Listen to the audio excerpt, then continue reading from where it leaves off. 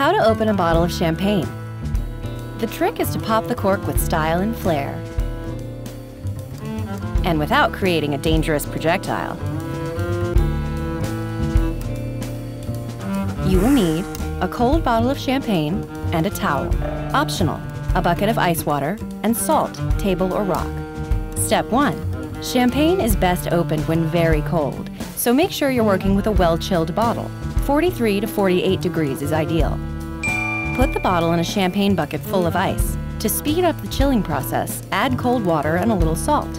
Step 2. Dry off the bottle so you can get a good grip and point the cork away from people. Step 3. Peel off the foil wrapper, keeping the wire cage intact.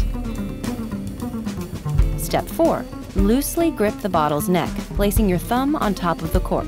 Step 5. Begin untwisting the wire cage, keeping your finger or palm firmly over the cork. Drape a towel over the bottle's cork and neck for added protection. Step 6. Don't twist the cork at all.